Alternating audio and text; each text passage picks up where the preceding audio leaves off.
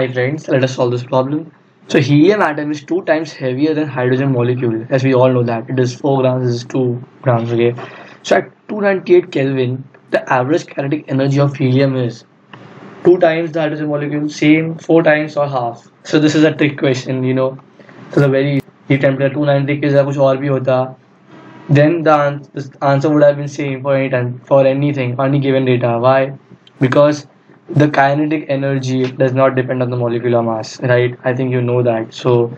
yes they have given the average kinetic energy of an atom of one molecule of an atom or whatever of one molecule is 3 by 2 kt where k is the boltzmann constant which is r upon na r is the normal जो हम लोग use करते हैं pvs and rt में 8 point वो वाला and upon n is the Avogadro's number, right? Because 3 by 2 RT is the kinetic energy of one mole of a gas. So if one molecule होगा तो it is by Na because one mole of any gas is Na molecule. So it's clearly इतना कुछ मैंने ज्ञान दिया there is no factor of m involved you can see. So even helium or even including oxygen which is 8 times heavier or any other atom which is heavier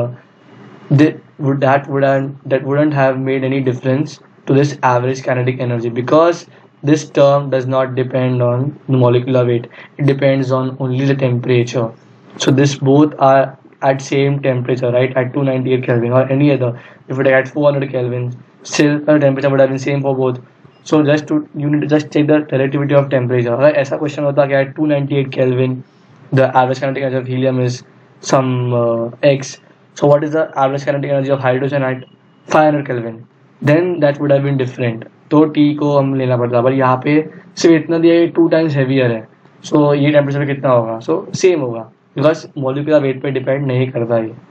So hope you understood this video thanks for watching